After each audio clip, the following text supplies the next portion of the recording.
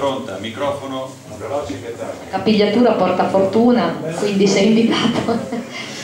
No, a parte gli scherzi, si vedeva l'ardore con cui siete scesi in campo, è stato molto bello per i vostri tifosi.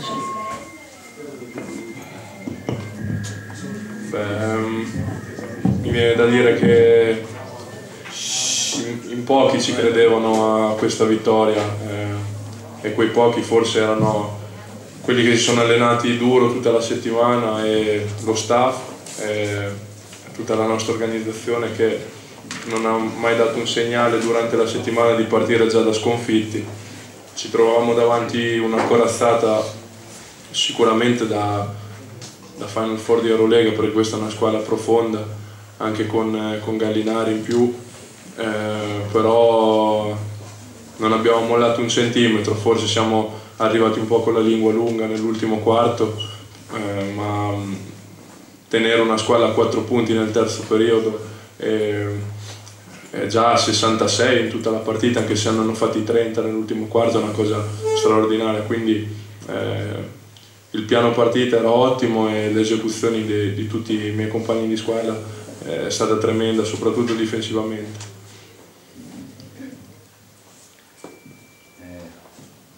Dicevo prima,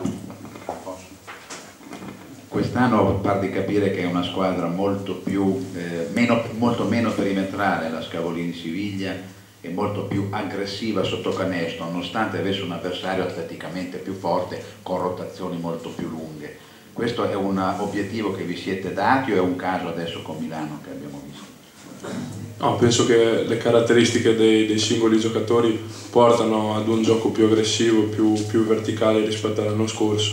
Eh, Ricky ha, ha, creato veramente delle scorribande nel primo tempo attaccando sia i pick and roll che in transizione e anche Daniele è un giocatore che ama eh, buttarsi dentro e, e, come sapete io prediligo anch'io andare a, a fare le avventure in mezzo all'area, a cercare un compagno libero, un tiro, un fallo eh, è un gioco più, più fluido forse, più, eh, più, sciolto, però dobbiamo stare attenti perché a volte può diventare anche pasticcione. È un gioco, è un gioco rischioso, però è, secondo me è un gioco che piace ai tifosi, piace alla gente. E oggi si è vista una squadra che aveva veramente voglia di vincere la partita al primo minuto. Il, rischio sono un po' le palle perse in quell'aggressività, quindi però a mio parere è molto positiva. Sì, sì, esatto. Eh, dobbiamo anche pensare che eravamo corti, eh, senza Traini e White, eh, un dopo un po' lo paghi questo gioco. Eh, soprattutto siamo riusciti a mantenere aggressività in attacco, ma eh, dobbiamo renderci conto che dietro avevamo le mani piene eh, da quando entrava Giacchetti a Radojevic, quindi loro, è, loro sono veramente lunghi e completi e in difesa dovevamo veramente stare attenti e usare ogni, ogni minimo di di energia che, che avevamo dentro. Altro?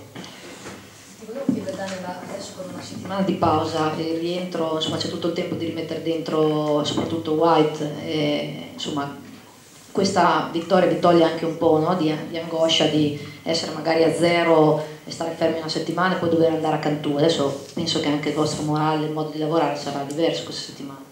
Ma l'ho detto prima a John Ebeli, eh, personalmente io mi, mi sono tolto un macigno sopra la schiena perché eh, già immaginavo eh, partire 0-2, riposare una settimana e il panico che ci sarebbe stato in città.